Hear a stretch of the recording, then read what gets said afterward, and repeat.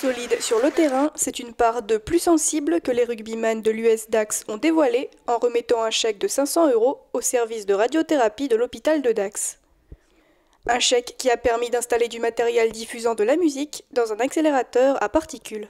Ce sont effectivement des accélérateurs de particules qui permettent euh, donc euh, d'envoyer des rayons pour traiter des cancers.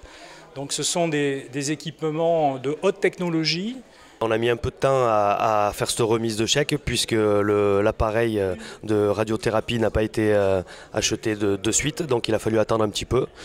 Toutes les personnes qui travaillent ici suivent l'USDAX, donc voilà, c'est un petit geste aussi ben, pour les récompenser. eux viennent nous voir le week-end, ben, nous on est venus aujourd'hui pour leur remettre ce, chèque.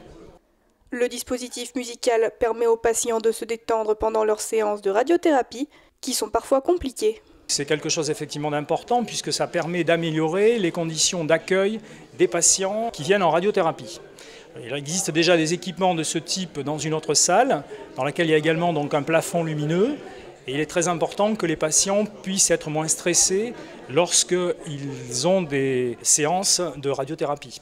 Comme nous ont dit les, gens qui travaillent ici, ben voilà, ça peut, euh, ça peut qu'apporter une amélioration sur, sur les patients. Je peux vous dire que c'est étrange de voir des, salles comme celle-ci. Nous, on est dans un certain confort, on est se rend pas compte un petit peu des à côté. Un geste généreux et solidaire que le directeur de l'hôpital n'a pas hésité à saluer. Ce qu'il faut effectivement euh, souligner, c'est euh, le fait que des gens en bonne santé s'intéressent aussi à des personnes euh, qui peuvent être malades. Et de ce fait, je trouve que c'est un geste qui mérite effectivement d'être souligné. Ça permet aussi de voir ben, qu'on est quand même euh, des personnes privilégiées qui peuvent, euh, voilà, on, vit quand même de notre passion, on fait du, sport tous les jours. Ça nous montre un petit peu notre visage et ça nous permet aussi de, se rendre compte ben, qu'il y a des personnes qui, en ont besoin et qui sont en difficulté. Donc euh, voilà, ça fait une ouverture d'esprit un peu plus importante et voilà, c'est étrange mais ça fait du bien aussi dans la tête.